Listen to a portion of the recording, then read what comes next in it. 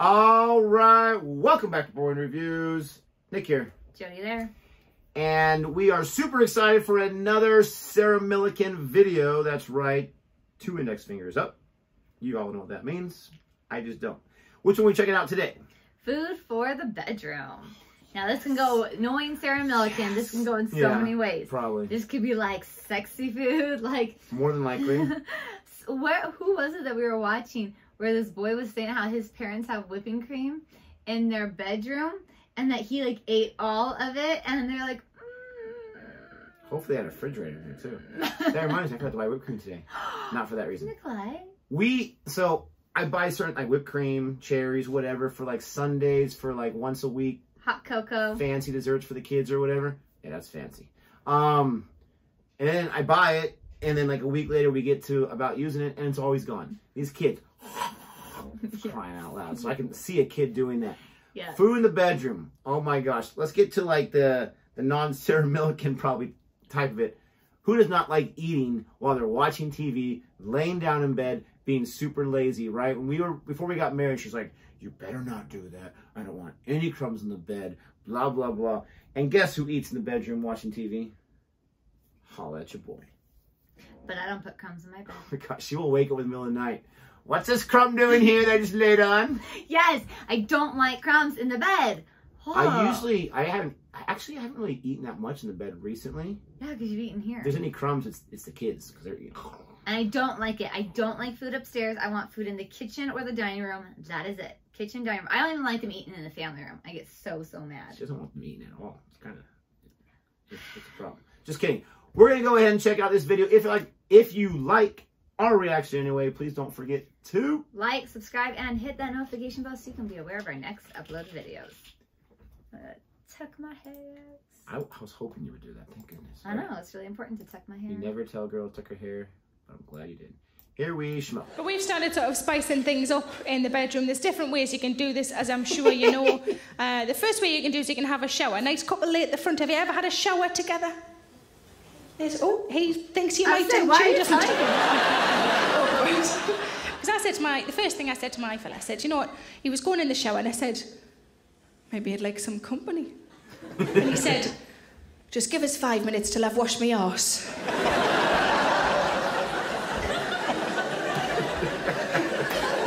Five minutes for that. But whenever we have a shower, oh, it always starts off really well, and then halfway through I realise this is just cleaning now, isn't it? There's nothing sexy going on anymore. It's when he says the words, arms up. but he is very thorough.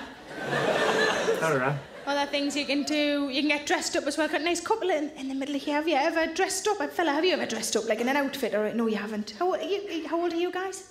38. 38. You see, because I still Oh, a, a couple are much older than you guys. So late 60s, early 70s. And you can always tell when a couple have been together too long. They had that sort of empty, sad, hollow expression. And what happens is, you can, the way you can tell is when you ask them how long they've been together, and uh, before they do a, a number, they always do a little horse impression. So you go, How long have you two been together? And they go, 30 years, 40 years, fuck knows. So I asked the old man, I said, Have you ever dressed up like in an outfit or a uniform for sex? And he went, No. I looked at his, his good lady and I said, Is there anything you'd like him to wear in bed? And she went, A shroud.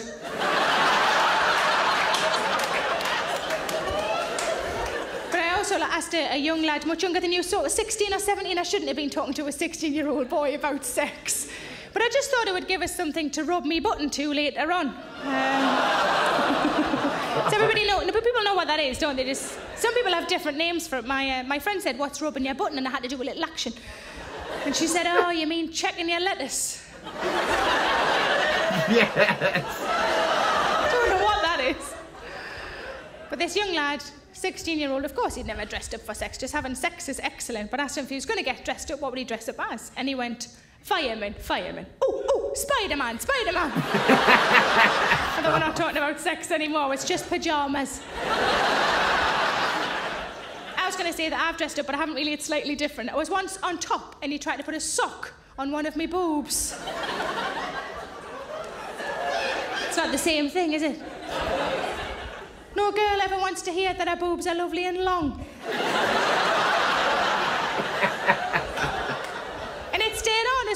wasn't sure whether to be pleased or not. Other things you can do, uh, you can use food. Let's get what about fella on the end? What kind of food do you think you could use in sex? Ice cream. Ice cream's a good answer. What about nice fella in a nice checky shirt? What kind of food do you think? Chocolate. Chocolate? Somebody shout cucumber.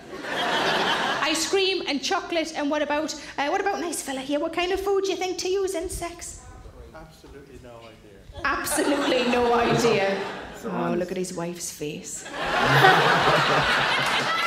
to be honest, she looks quite happy, like they haven't even needed that. we haven't got to that stage that you're at with your boyfriend in five years. Fuck off. No, no, 'cause I like asking fellas because fellas come up with a wide variety of interesting answers. I've stopped asking ladies, no offence to the ladies, but ladies always say chocolate, chocolate sauce, chocolate cream. Fuck it, I'll put a Twix up there, whatever. as long as I can have a chocolate bag afterwards. But I asked, uh, I asked a man recently what kind of food he had used in sex, and he said noodles. and I've had a bloke say chips and a bloke say curry, and I think generally men are picking things they're probably going to have for their tea anyway. Just using their partners as plates. Stay still.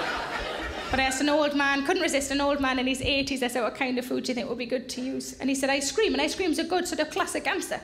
But it wasn't so much the answer he gave as the noise that he made while he was thinking. Because he went like this. Oh, And it's while he did that noise, what goes well with vagina? Ice cream.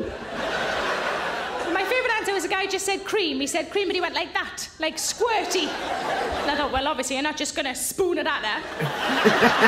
but she catches it in all the right places. then he went like this. He went, pack her full. Oh. I'm so glad that you're as horrified as I was. Pack her full. To be fair, he was a plasterer. I'll just smooth that over. Not get any more bother from that crack.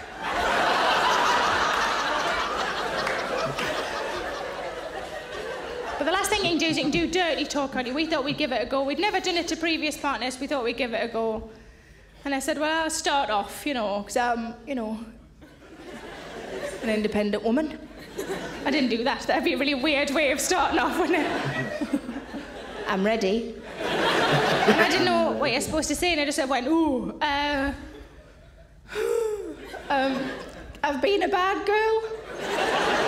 I'm sorry about that. and he just went, apology accepted.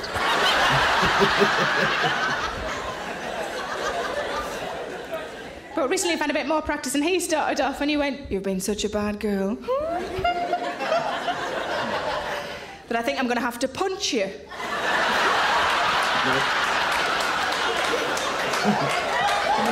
He's gone too far there, hasn't he? Killed it. But I misheard me and said punch, he said punish, which apparently entirely acceptable in terms of sexy lingo. But he hadn't really thought it through because I said, "What kind of punishment did you have in mind? He said, do the dishes. Sorry. Oh my gosh, I was not Oh expecting my that. gosh. Do the dish. the worst ever at that. oh, you know exactly what to say. We can stop this right now and just get right to it. I thought she was gonna say she misunderstood and said, "Yeah, go ahead," and he punched her. oh my something like gosh. No. Do the dishes. You were absolutely right. You totally called it. Because it's Sarah. Food for the bedroom, 100%, and for the shower, supposedly. Um, But she's not wrong on that. It just becomes cleaning. Arms up. have a turn. Oh my gosh. well, my biggest problem is always like I'm cold. I'm like I want to be under the water the whole time. Oh I'm too selfish with the water. Too many things I can say, but I'm gonna not say it. Thank you so much for watching this video. We really enjoyed. We hope you enjoyed our reaction. If you did, don't forget to like and subscribe. And until next time. Goodbye.